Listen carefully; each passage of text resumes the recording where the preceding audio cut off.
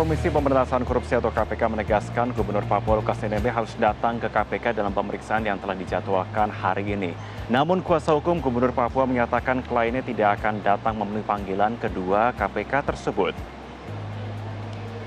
Kuasa hukum Lukas NMB Aloysius Renwarin menyatakan Lukas saat ini dalam kondisi sakit dan memerlukan perawatan secepatnya di Singapura.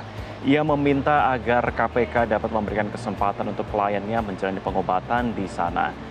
Gubernur Papua Lukas NMB sudah dipanggil KPK pada 12 September lalu, namun mangkir dalam pemeriksaan perdananya saat penyidik sudah melakukan penjemputan ke Papua.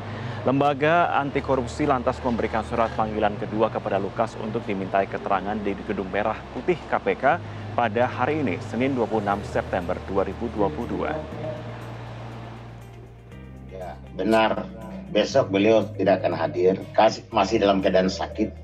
Beliau jalan 5 meter, sudah sesak napas, setengah mati dia berjalan sepanjang 5 meter. Kakinya bengkak, tekanan darah juga tinggi. Saya mohon pengertian dari Jakarta terhadap Lukas NMB, termasuk Bapak Presiden. Persoalan ini sangat serius di bumi cenderawasih yang kami cintai.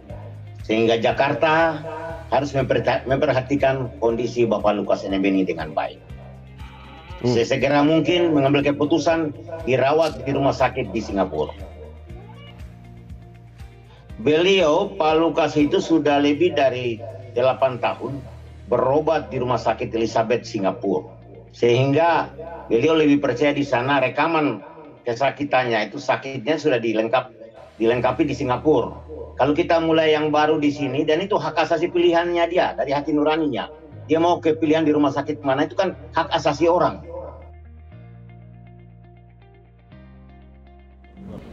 Juru bicara bidang penindakan KPK Ali Fikri menyatakan sebaiknya Lukas hadir untuk diperiksa terlebih dahulu sebelum dipertimbangkan keinginan untuk berobat ke luar negeri. KPK memahami kesehatan Lukas penting karena berobat juga merupakan hak dasar manusia. Namun status hukum Lukas saat ini merupakan tersangka kasus dugaan korupsi yang sudah dicegah. Sehingga izin berobat ke luar negeri harus mendapatkan restu dari penegak hukum. Karena kami paham bahwa kesehatan merupakan salah satu hak dasar dari manusia. Oleh karena itu, eh, seharusnya permohonan dimaksud juga disertai dengan dokumen resmi kesehatan dari tersangka yang kemudian akan kami lakukan analisis terhadap uh, alasan ketidakhadiran dari tersangka dimaksud. Adapun uh, permohonan untuk berobat ke Singapura tentu uh, kami juga telah memiliki tim medis khusus terkait dengan pemeriksaan para saksi maupun uh, tersangka yang dipanggil oleh KPK. Oleh karena itu uh, kami pertimbangkan permohonan dimaksud setelah nanti dilakukan pemeriksaan oleh tim medis KPK di Jakarta.